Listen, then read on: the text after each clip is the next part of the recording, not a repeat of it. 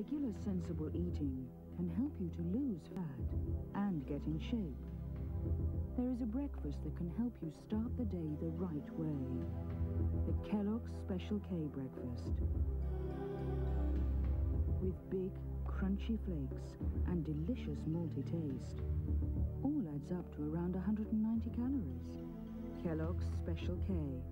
Get in shape, lose the fat.